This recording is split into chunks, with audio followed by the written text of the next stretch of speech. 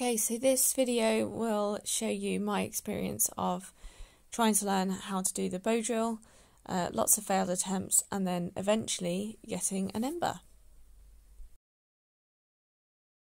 Here I actually have the um, drill on the wrong side of the bowstring, it should be on the outside. This time I have the spindle on the outside of the bowstring, which is great, but I'm not supporting the hearth properly, and you can see my foot just moving all over the place.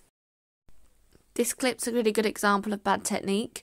For starters, my drill is too long anyway, which I change later, but also my wrist isn't locked against my shin in any way, it's moving around all over the place, and I'm bowing at an angle, which means that that string's just travelling up and off the top of the drill. Another example here of the spindle just moving around all over the place um, and I'm not using the full length of the bow either. I actually started the day um, kneeling on the ground uh, but found that really difficult and thought that working off the bench might help me to get my weight over the top of the drill. However, it, it really didn't and in fact later on uh, in this video you'll see that I revert back to being on the ground level was much more stable.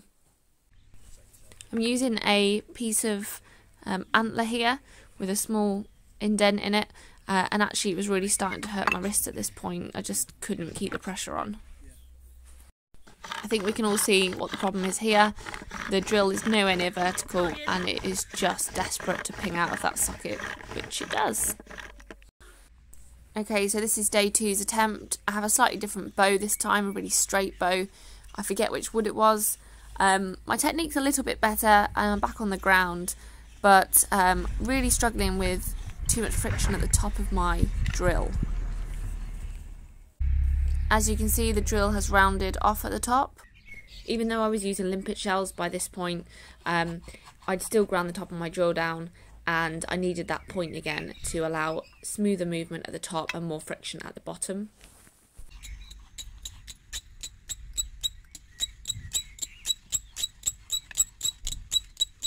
Squeaking tells me it's not working. Play faster and push down harder, and it will disappear.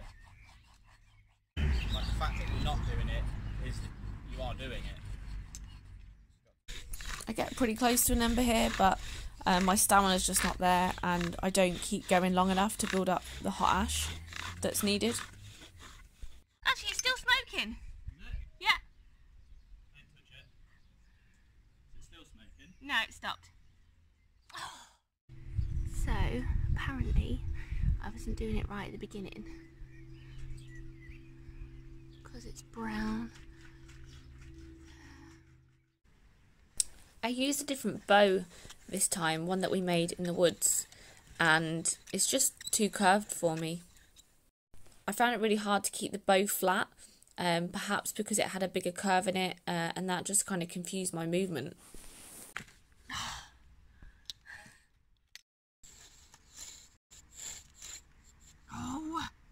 I think you do better with straighter bows, don't you? I asked Adam to demonstrate that it was possible to get an ember with that ridiculously bendy bow, um, and frustratingly, he did it really quickly.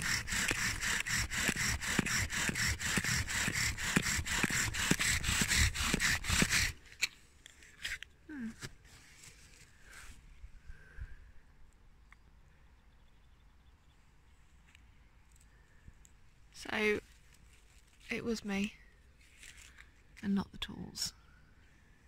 Firing them sticks. Yeah. Just not in you yet. No, not yet. From this clip, you would not think I get an ember in like five minutes' time because look at that ridiculous technique with the bow all over the place. So this is actually my successful attempt at getting the ember, and Adam caught it on camera, which was cool. It's good. I needed that like encouragement behind the camera actually. Otherwise, I don't think I would have been able to keep going. You can see that um, from my body language that I'm getting Right, tired. keep that going.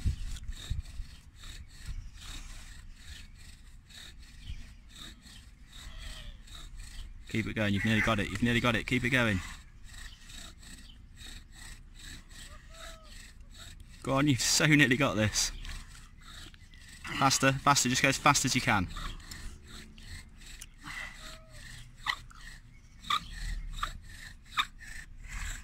Okay, let's have a look. Yeah, well done. You got one. Have I got it? Yep. Have I? Yeah, move out the way carefully. Yeah, no problem there. That's good. Really? Yeah, let go. Ah! so excited. I've got an ember. Look at that, it's still smoking. That is so exciting. Oh, I can't believe I got an ember. I told you it was going to happen tonight. You didn't believe me. I can't believe I got an ember. Thanks for watching me get my first ember and I hope this video is useful for you in getting yours.